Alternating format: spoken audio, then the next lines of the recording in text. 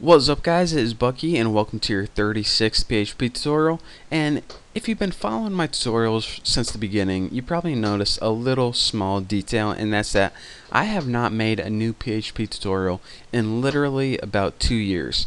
But this morning I woke up and I was like you know what I feel like making some PHP tutorials. So that's what I'm doing, but I just want to give you guys that warning because that was two years ago and I don't have the best memory, so I'm not entirely sure the things we covered in the past. Um, if we were working on any projects, then you know you can forget about those because you know it's two years later. My memory isn't that great, so just want to give you guys a heads up that that was two years ago. If there's something that I teach you guys and I'm going over and I didn't cover, just leave me a comment and let me know, hey, you didn't cover this. But anyways, what we're going to be doing in these tutorials from now on, first thing we're going to do Blah, blah, blah, the first thing we're going to be doing is working with object-oriented PHP. That's where we're going to pick up, and that's where we're going to go from here. So we're saying, all right, WTF is object-oriented PHP. Object-oriented PHP is pretty much a different way to program than we were in the last couple tutorials.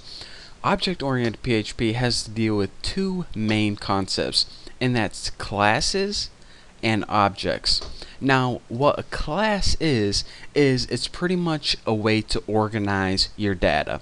All your variables and all functions that are related can go in one class and an object is pretty much a way to access that class to get all the variables and functions from that class and actually be able to use them. So for example, if you were building a program of all the things in the world, you would probably make a class for people, you'd probably make a different class for animals, and you'd probably make a different class for places or something.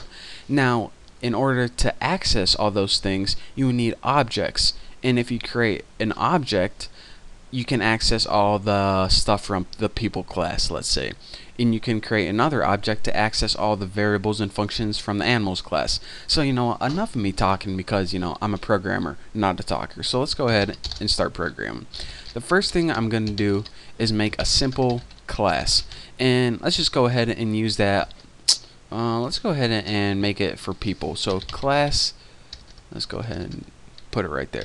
Class people, and by the way, typically whenever you make classes, you're going to want to put them in a separate file, but I'm going to throw all mine in the index, and this is just for the simplicity of making this tutorial real quick and showing you guys how to make a basic class. But anyways, if you're like working on it for a company and building these classes, you typically want to put each class in a separate file, and that's how people typically organize it. But anyways, like I said, in this case, everything's going in the index. So anyways, I have this class called people. In order to make a class, go ahead and type the name class, and then go ahead and name your class whatever you want. Now anything inside your curly braces is going to belong to that class. So let's go ahead and make a variable in a function that's part of the people's class, or the people class.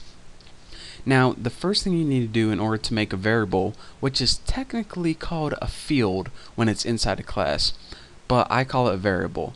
But I just want to uh, tell you guys that because if you're, you know, learning this for a class or something, not this class, but like a college class, and the word field is on your multiple choice test, choose that instead of variables. But this isn't a college course. This is the new Boston, so I can say whatever the F I want. I can even say F. How cool is that? So anyways, go ahead and in order to make a variable or field, you first need to type a stupid keyword, and that's public. Now, these keywords, and they have to deal with something called scope. We're going to be covering those in a later tutorial. Not this tutorial because we don't have time. But anyways, let's go ahead and make a variable called name. By the way, if you just can't wait, public means everything outside this class has access to this. is pretty much basically that. But anyways, now that we have a variable called name, let's go ahead and make another function that can, you know, set the name, like set it to Bucky or Lisa or something like that. So let's go ahead and make a function and of course use this go ahead and type that stupid public whatever that means we're gonna be covering that in uh, probably the next tutorial. And go ahead and make a function just like you did before. We'll name this function set name and pass it in the parameter x. And now we want to say this. Alright. We have a variable in this class called name and what we want to do is we want to set it equal to whatever value we pass in. So if we pass in Bucky as X we want to set this variable equal to Bucky.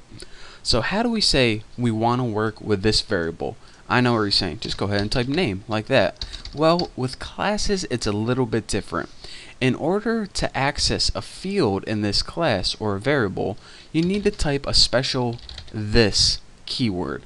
This means, alright, I'm going to be working with something in this class. What am I going to be working with?